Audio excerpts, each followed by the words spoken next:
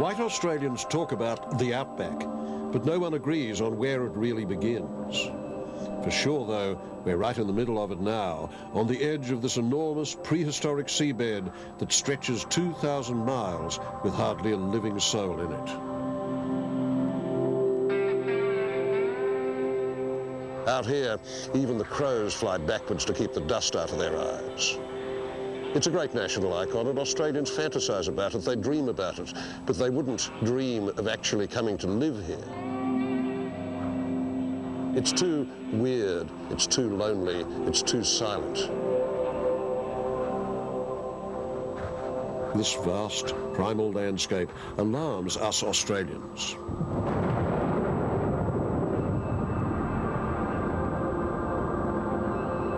Ever truly feel at home here?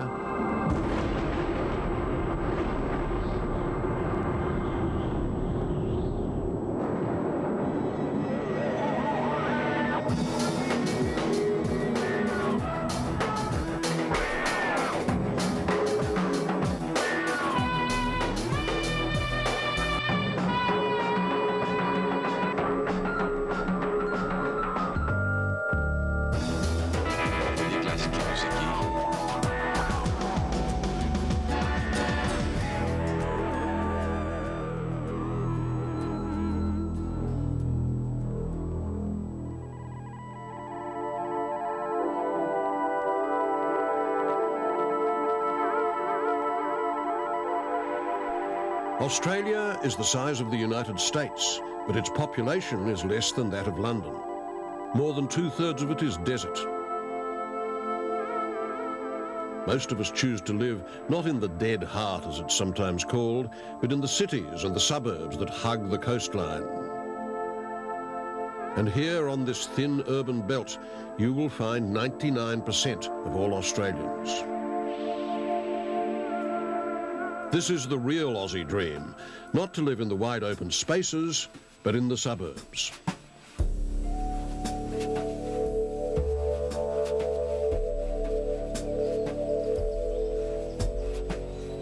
This is the Australian dream to have the quarter acre block, to build your own home and to landscape it.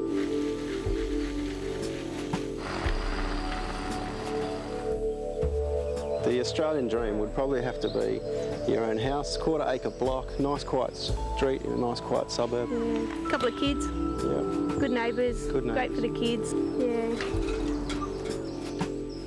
Probably not everyone's idea of the Aussie dream, but uh, it, it certainly is our idea of an Australian dream. But while most of us live in suburbia, we still feel nostalgia and national pride in the outback. How'd you make out? Oh, been one bloody beaut day. Around about midday, it must have been 100 and bloody 20 in the bloody shade. I'm quite sweaty under my armpits, I did, unbloody comfortable. There's me slave for me, Gus. And what do you think these two deadly nightshades did all day while I'm in the raging sun? They're on with tea for me. Strange then that we don't want to live there. The outback is a bit scary. I think mainly it's the total isolation of it all. The outback is, is a mysterious place. It's so wide and vast. You don't have neighbours for thousands of miles. No friends, no family close by, no schools, no shops. I'd die out there.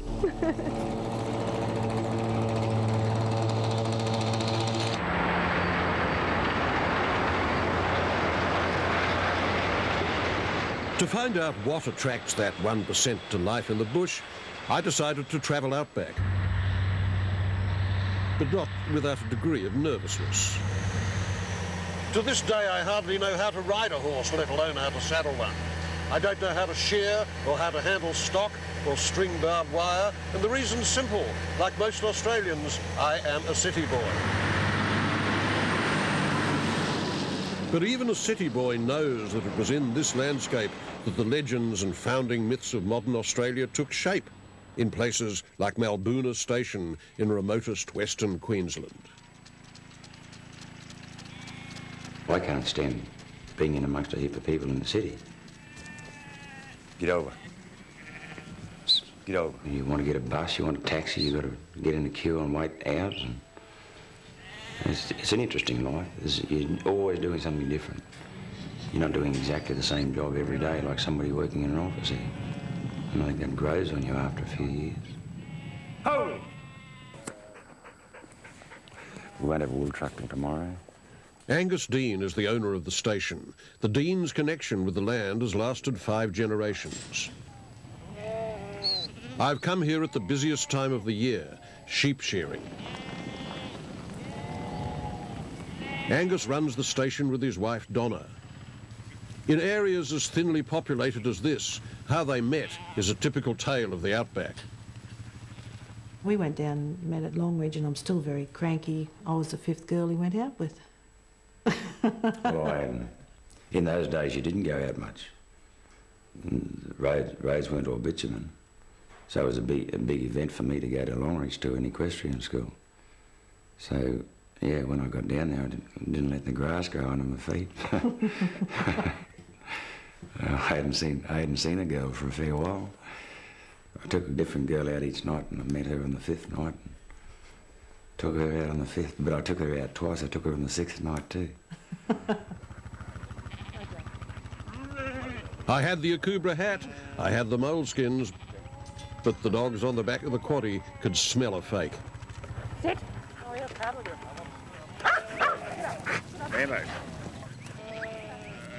Malbuna stretches over 120,000 acres and it has 35,000 sheep. Angus offered to show me around.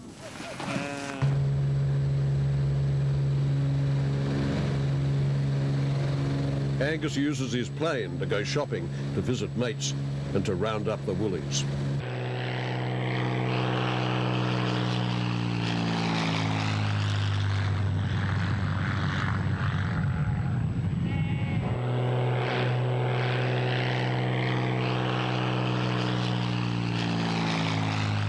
Have you ever had a crash?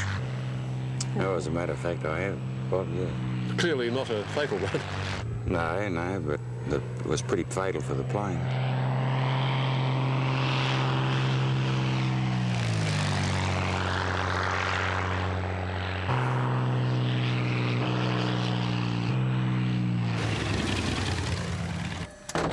And you didn't even have a chunder. By mid-morning, Angus and Donna have mustered enough sheep for the shearers to start their work. On the boards, the shearers race against the clock and against each other. The men are paid by the number of sheep they shear. Today, they aim to get through three to 400 each.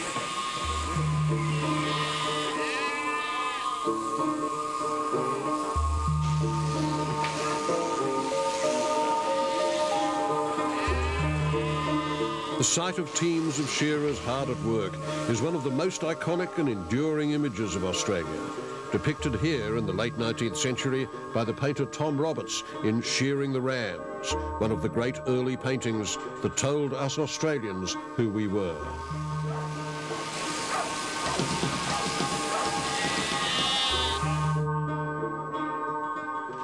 When I left Australia 35 years ago, this life on the land was part of my imagination. We all thought of ourselves as somehow connected to the bush and the bush to us. Even though others were living it for us, this rugged life in the outback was near the source of our culture, our poetry and our songs.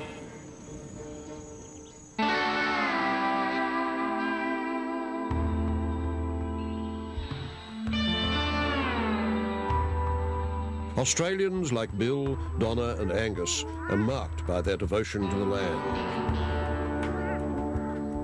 But how long their descendants will be able to stay on it may be less certain. The bush way of life is in decline. The wool market has all but collapsed. Angus sells his wool for 25% below the cost of production.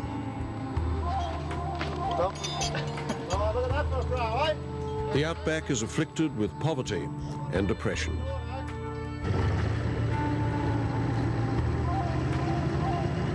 Nowadays, most of the energy and vitality of Australia is to be found in the cities and not out here in the bush. And the number of Australians who actually live on the land and have a deep relationship with it is in steady decline.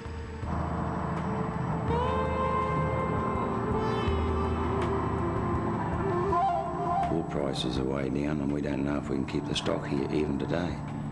surviving on just minimal rainfall every year. Young Australians realise that life in the bush is going to be no joy for them. There might be not much, much, not much of a future at all. So they'd rather poke off to the cities. So yeah, there's just nothing much left for a bush kid.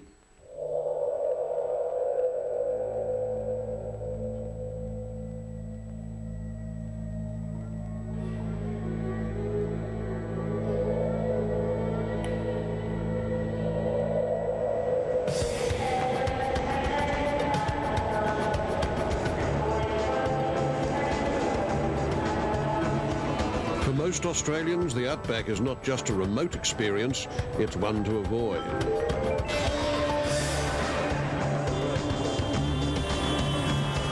Sure, we dabble in weekend bush holidays, we buy Akubra hats and Driza-Bone coats, but we feel safest here. Our cities vast, crowded, cosy psychic defences against the wilderness outside that's just a short trip away.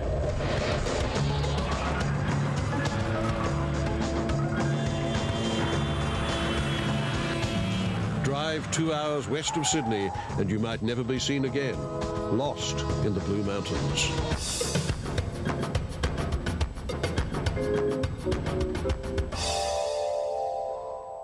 We will return to Australia.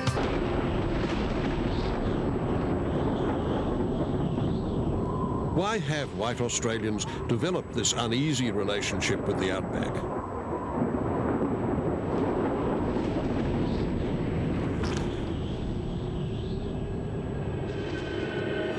The answer goes back to the start of colonisation. When the convicts and settlers arrived, they found a continent where the weather was violent and unpredictable, the landscape harsh and inhospitable.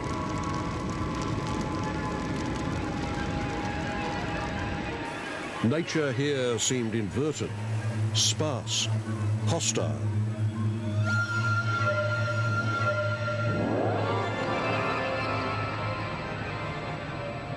There were so few points of likeness to the old Europe they had known. New names had to be found to describe the strange creatures they saw. The wombat, kangaroo, koala, platypus.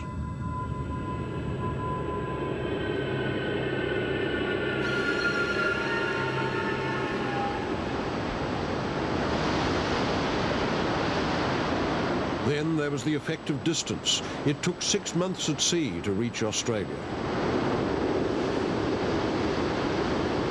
So far from home, this land became a prison. Quite literally so, because it was here that Georgian England sent its criminal underclass.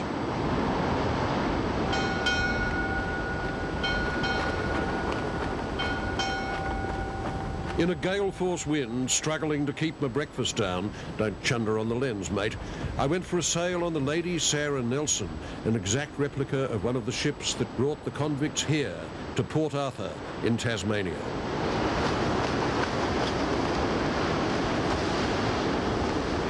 In 19th century America, space held the promise of utopia. Space was what set you free. But in colonial Australia, space was the very prison itself.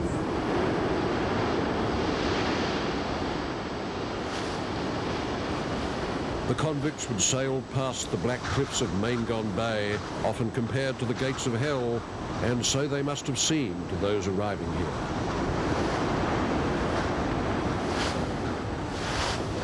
The isolation of these men seems written in the very landscape.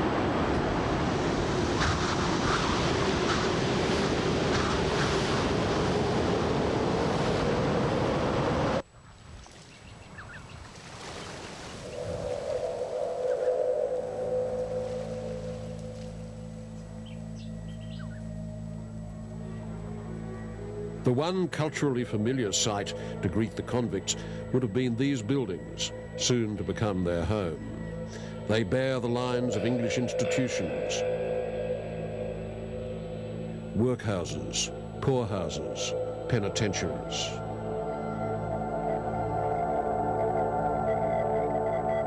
Port Arthur was built to contain the criminal elite of convictry, the hard cases who had reoffended in their exile to Australia.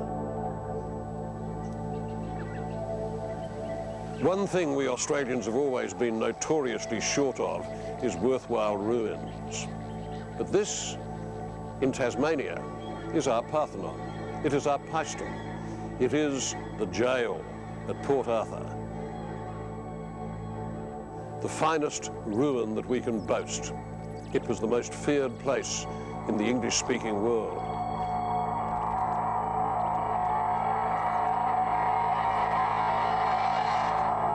Sure, it was a cruel place to be, but its cruelty consisted much more of that dreadful bureaucratic tedium that came to characterize the great penitentiaries of England.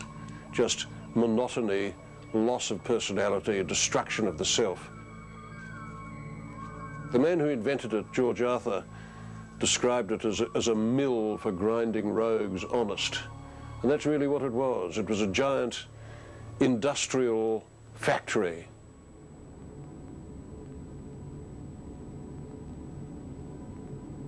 It was a whole town of punishment. And the most disturbing place of all was the separate prison. The worst punishment, worse than any flogging, was just the fact of living in these isolation cells 150 years ago. No sound, no conversation with your fellow man. If you went outside, you had to wear a leather mask so that you couldn't be seen. The chapel was designed with solitary cubicles so that only the convict's maker could see his wretched face.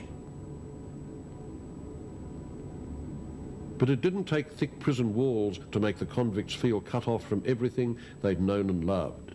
Just the fact of being in this distant land was enough.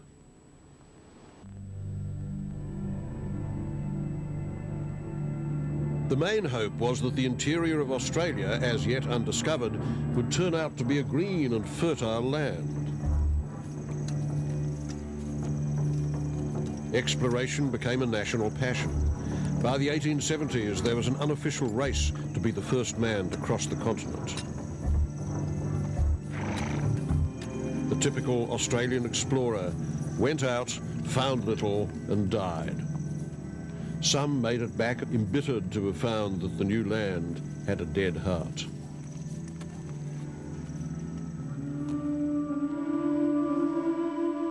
In America, expeditions had revealed fertile plains, mighty rivers, wealth and resources for the taking. Not so in Australia. Two-thirds of it was semi-arid desert. There were to be no cries of westward ho.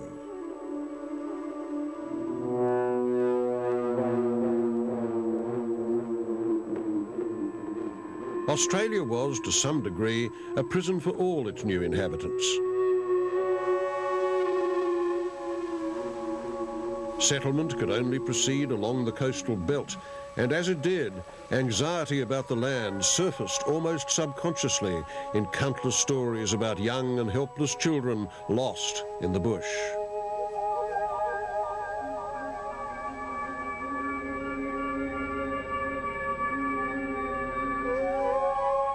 The outback was depicted as a malevolent death force. The children represent the dashed hopes of the settlers.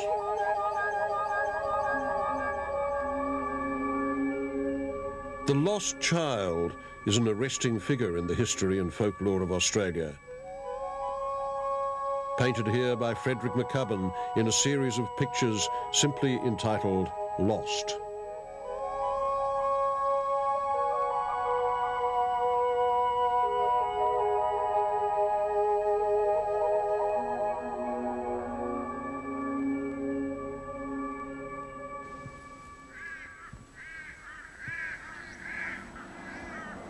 Not all Australians have found this land such a hard and alien place. I travelled to meet the Gila people in the Kimberley region of northwest Australia.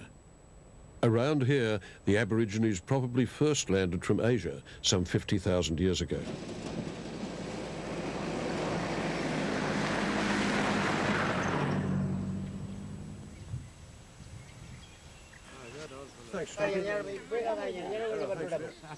This was a special outing for our benefit, a rare chance for the Gila to visit their homelands. A cow had been slaughtered and the site prepared for camping. For though the Gila people claim this is their ancestral home, they're no longer able to live here.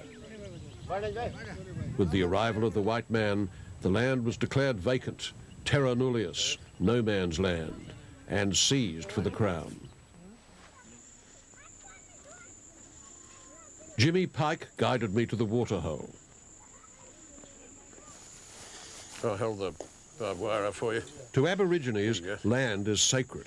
Every valley, salt pan, waterhole, formed by ancestral beings in the dream time, their story of the creation. Jimmy called out to appease the great snake that protects the waterhole. Majan. Jangan yang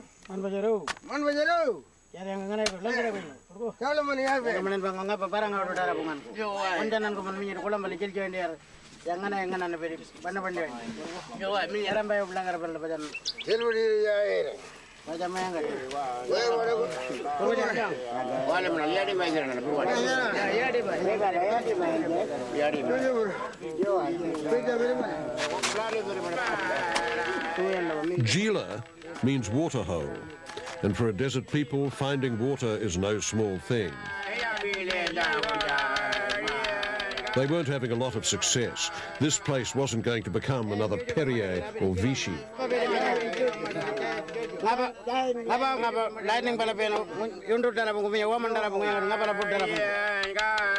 But it did show me how much this site mattered to these people.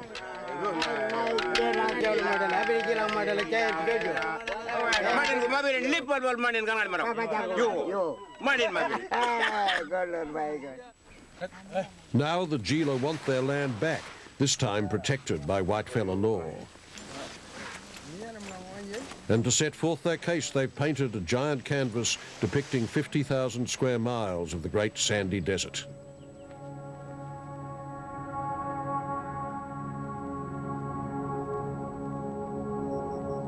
Woven into this big picture are the stories, the places, the ceremonies, and the songs of their country.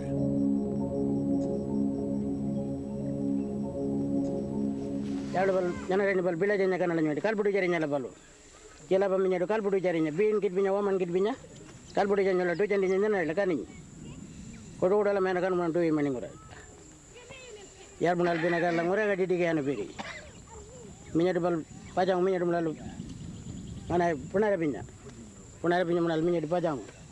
Minyak di balong orang di kian Filipina kaya lala nyana di. Kalau yang nyana jo ngura jo nungana ya, ngayaku dan an dan di jengkin abad dan jo jadi jo ngura bad ya waya kan gambram ngaruh ke ka jungura na waya kali eleman ngura jo ana jo ngura We will return to Australia beyond the fatal Hundreds of miles from anywhere, Coober Pedy is home to Australia's opal mining industry.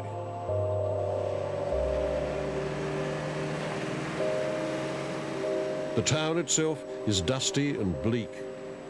The location for the Mad Max films, this is the closest thing Australia has to the Wild West. It even has its own Boot Hill Cemetery. Here lie miners from all over the world drawn by a dream of striking it lucky.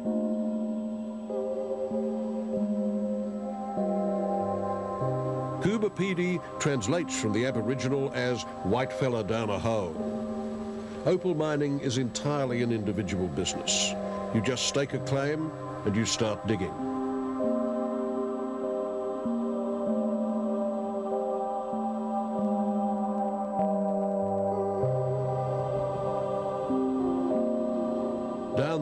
Particular hole, I went to meet John James.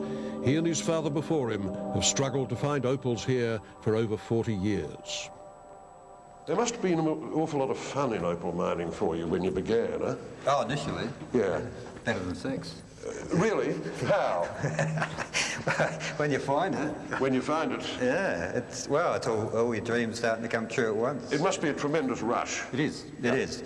And it sends all your adrenaline running and all your fantasies happen and uh, you know, all those little things you always wanted in life, you think, down this way. Um, this is what's going to happen. The guy who works in the office in the factory or wherever, he's paying off his home in the suburbs. He's going to get it when he's 65, and then he's going to retire, and then he's going to buy the big flash four-wheel drive in his caravan, and then he's going to become a tourist, and then he's going to come here and dream And of what, to look at you. of what could have been. Yeah. See, what could have been.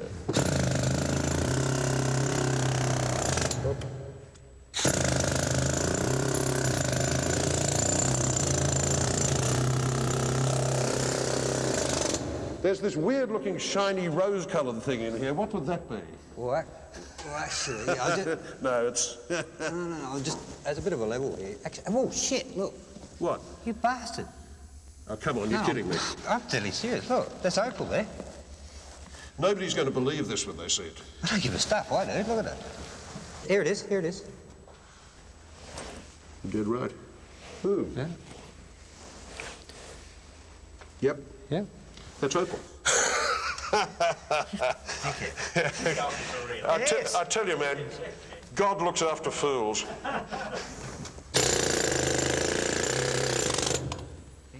Three years later, the art critic is found in Coober Pedy still, you know, vainly hammering at the, at the face.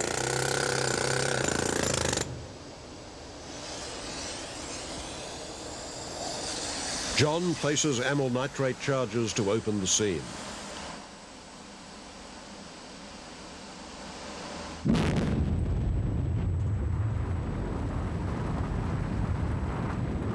Under 50 feet of rock, the detonation produces a weird feeling, the unconsummated prelude to being buried alive. And when you're down your burrow scratching at the wall, do you ever sometimes think, what the hell am I doing here, pulling out coloured stones to, you know, so that uh, women can hang them between their breasts? Yeah, I think about that every day. I mean, it's, uh, look, if you want to put my life into context as a miner in that sense, yeah, it's bloody pointless. The surreal total effect of this place climaxes at the local golf course. It has no grass, not even a blade. Each player carries a small square of green astroturf on which the ball is solemnly placed for every shot. The fairways are bulldozed dirt.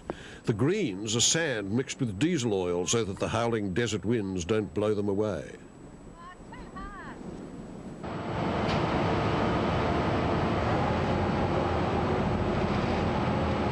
Work of the Pedy mob is small stuff compared to the vast mining projects that tear into the Australian continent.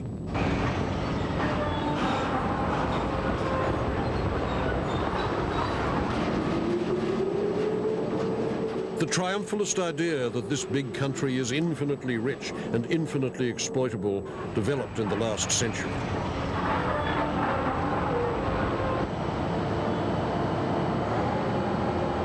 Boosters saw Australia as the new America.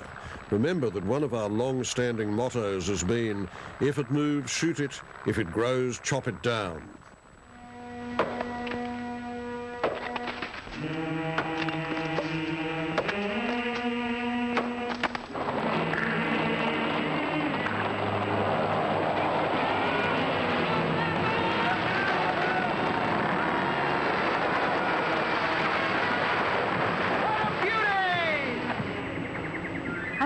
Lives will be like here in the future. Doesn't it give you an odd feeling?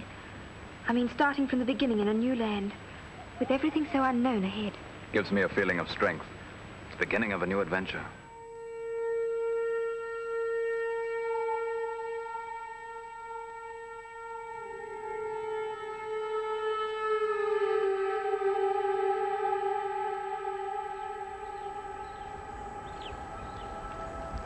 Once we've developed respect for the land and we treat her as she is our mother, she accepts us and we can accept her we eat food from her soils, we drink water from her skies. Then we get the connection with the land, which is our spiritual connection with the land.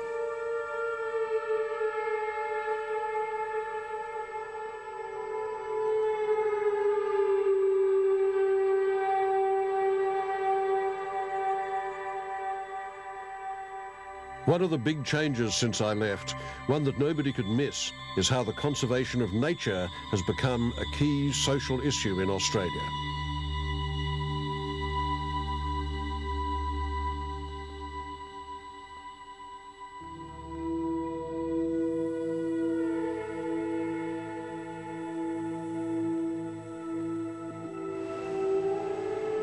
Us Australians have to realise that we don't have, we're not having the control over our lives at all. It's the companies out here who are pillaging the forest and raping it and burning it. Like we need an environment to stay sane, uh, like a natural environment. It's about the future and like our future generations, like our children and our grandchildren. It's like, what are they going to inherit?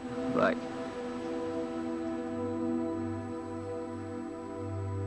These young greenies are angry about the destruction of the Tasmanian wilderness. To date, three quarters of the virgin forest has been cut down. The cleared sites are then bombed with napalm to burn them off. Most of the trees go to make wood chips for the Japanese paper industry. hey, like this wood chip thing, it's totally wrong. Like these forests, in the old days, they'd come in and they'd only take out the best trees that were there rather than level the whole lot and they'd let the rest regenerate naturally. These eco-radicals believe they must try to turn the clock back to a time before the white man had destroyed the forests and decimated the people whose land this was. Aboriginal people had an extremely close connection with the land. It was a part of their culture, a part of their religion, as I guess as white people would put it. And we've just fully written off and ignored the way they lived and ignored like the secrets that were underpinning their culture that helped connect them to the land because they certainly wouldn't go around clear felling like like we do. I, in particular, am I am ashamed of my heritage that, that we've come over here and we've totally disrespected the people and the land, and it's continuing, and it and it's really hard. So I think what we have to do is just start respecting. Sometimes the Australian eco movement isn't just about saving the environment. It tends to get very bound up with feelings of guilt and self-recrimination. It's as though some Greens believe that the white man should never have come to Australia at all and that all he's done since he got here was wreak havoc and destruction. Today it's become fashionable, mainly among city folk, to see the Aboriginal claim to a spiritual identity with the land as the only true one, and Whitey's connection with it as inauthentic.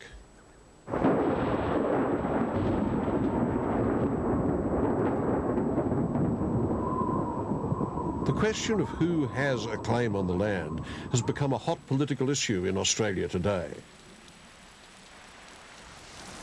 Land owned by white people for generations is being given back to its indigenous owners via the courts.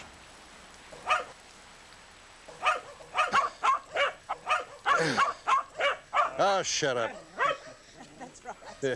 So, Lindsay, this place, I, mean, I guess it looks like raw bush to strangers, but it must be saturated in memory for you. Well, it is, and of course this particular site is just one of them. It's probably the most important one for our family because it's been the scene of so, so many happy family memories. It's your sacred site. It's absolutely our sacred site. That's certainly how we think of it. the McDonalds have lived here for generations. Lindsay's father-in-law is buried on the farm and their daughter married on this very site. Their homestead in Queensland, along with a number of others in the area, is under a native title claim. We, we feel that we have been judged guilty of something and we don't know on what basis. I think that feelings from land don't come from race. I think they come more from culture and the practice of culture. And that means that those Indigenous people who have practiced their culture uh, in a continuous way, of course, have very deep feelings for land. But so do those of us who have been on the land for some generations and have a deep commitment for it. I'm not saying it's necessarily the same, but that commitment and attachment is definitely there. And it's valid. Of course it's valid. The claim on their homestead means that the McDonalds cannot get a loan from the bank to invest in new machinery or livestock. They can make no plans. The bush people find it very hard to forgive the hypocrisy, I have to say that. There's an enormous amount of hypocrisy because basically it is country that's being asked to bear this burden and not the city. I think all of us in the bush would say to the cities, we don't see why you shouldn't share that. Um, after all, if the land that we live on was once Aboriginal, surely the land that you live on was once Aboriginal. And uh, if there is a cost to pay, surely that should be borne by all Australians.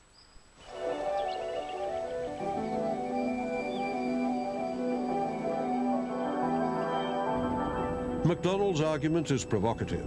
It sets off deep controversy in modern Australia. Some resent the very idea of anyone voicing it, but racist it is not. I share her belief that whites can be at one with this land and that they can create a spiritual home here. We will return to Australia beyond the fatal shore.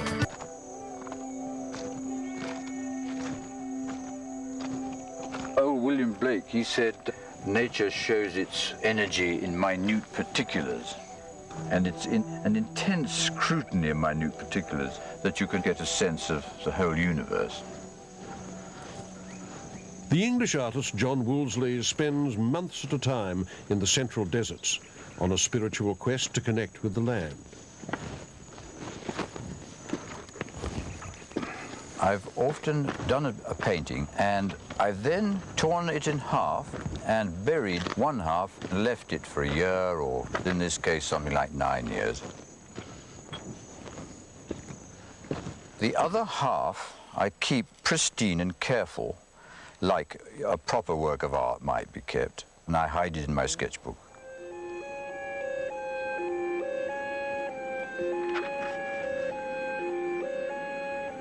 Wolseley may be a POM, but he's spent 28 years visiting these remote wildernesses, a lot more than most Australians. Goodness gracious me. It all looks much the same.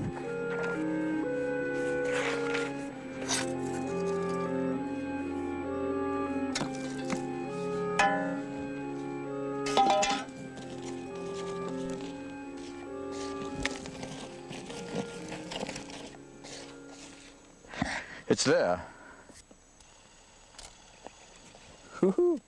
It's mostly there. There's a, seems to have got a hole in it. The colour's almost gone.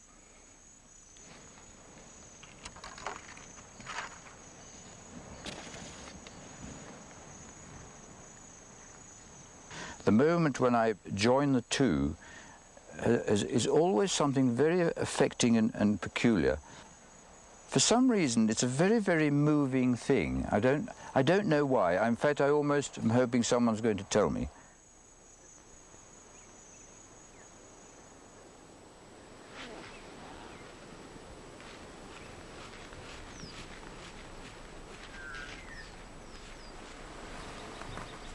John's work reminds me of the early scientific explorers in its detailed botanical observations. But his approach breaks with the way that the first whites looked at this landscape. So much of the old landscape painters were people who, even the way they painted, they had an easel and they said, now that over there is land, I am uh, an artist. Quite often they'd say, I'm an important artist, I'm a very important person and they would then paint their rendering of the land. And quite a lot of it was to impress people about how wonderful the land was or to sell it. I mean, a lot of the earlier paintings were to sort of say, this is good country.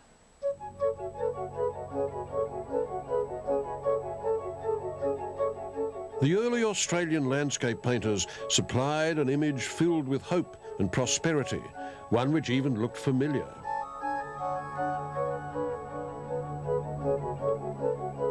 the landscape was transformed into property, infused with the sense that Australia has at last come into the hands of its rightful owners. And when John Glover paints the fast vanishing Aborigine, one is made aware that whether he approves of their passing or not, he regards it, as most settlers did, as quite natural and historically inevitable.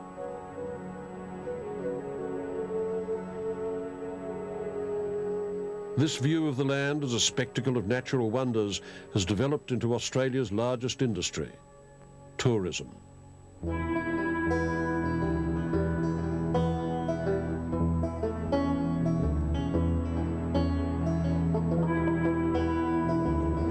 Yes, this is the first time that we've really taken the plunge and gone out back to the centre of the country. To come right out here, it's a, it's a first.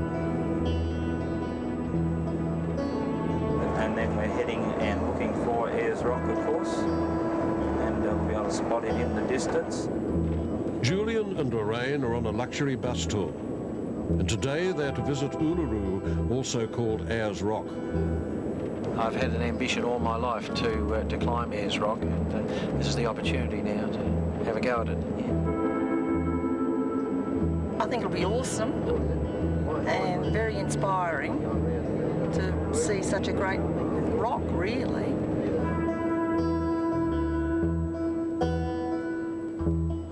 Just the uh, the symbolism, I think, and the size that we've got something unique in Australia out here, and uh, a lot of people from overseas come and, and see it, but a lot of Australians uh, overlook it, really.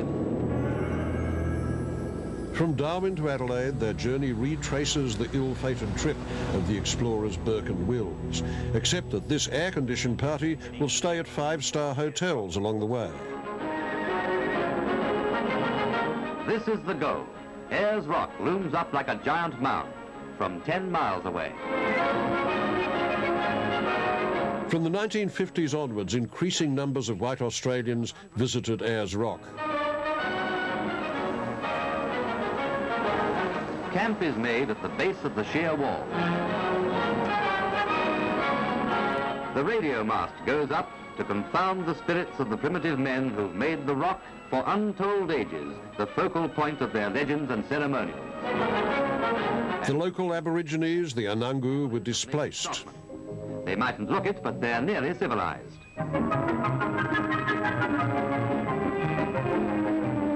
Then to climb the rock itself. No easy task, as the sides steepen to an angle of 60 degrees, and the surface is flaky and treacherous. All my life I've thought about this. Yes, it looks very challenging today. Yeah. The big climb became the white Australian sacred duty. For the Anangu, watching tourists hike over their sacred site was deeply upsetting. When, in 1986, the rock was handed back, the Anangu decided not to forbid climbing, hoping that in time visitors would come to respect their wishes. Oh, where'd you go?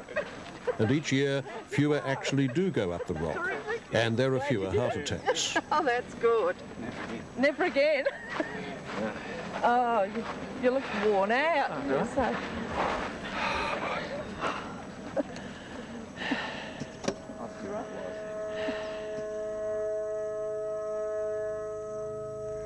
To some, this is and always will be Ayers Rock. To others, it's Uluru. To the Ayers Rockers, this great monument of nature stands as a symbol of white Australian identity. To those who call it Uluru, it represents an important victory in the long and tortuous process of reconciliation, of saying sorry and handing the land back to the Aborigines.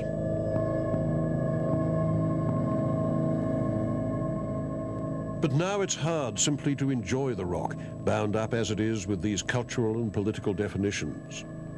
It's lost to our gaze, reduced to a token, a spectacle for consumption, a cipher.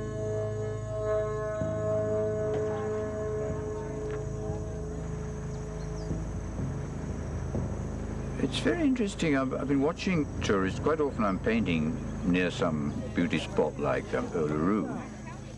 The number of people who get out of the bus, the first thing they do is not look, oh, what is this, w where am I, it's they take the photographs first. They're actually trying to create their virtual world even before they've actually experienced it. I, I think the extent to which we are alienated from the physical structure of what surrounds us is much more radical th than we think. At 5.30, the high point of the entire trip. Sunset at Uluru, without which no visit would be complete. Can't see them, they may be down. Ah, now yes, there's, there four, is. there's four up there now. Yes, oh. there is. Can't four. you see the white? Someone's yeah. got something white on. Yeah.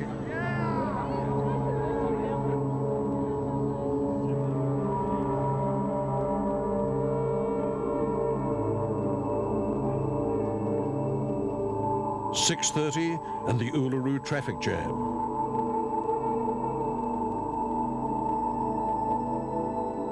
Thousands of trippers leave the site to start their journey home to the safety of the cities.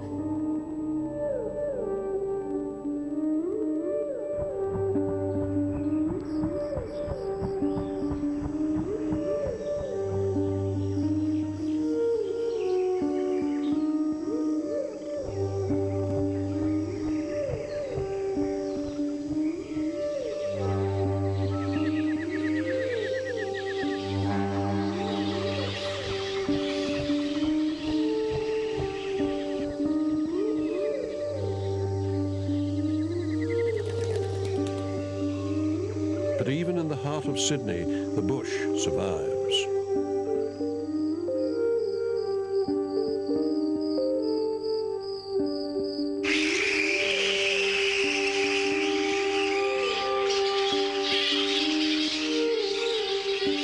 As the sun sets, the skies begin to fill with the flapping pterodactyl-like shadows of a time long before the white man came.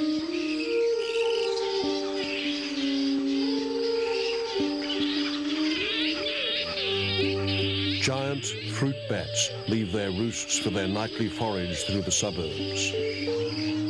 Winged emissaries of nature in all her strangeness, reminding us, whether we like it or not, that the bush is never far away.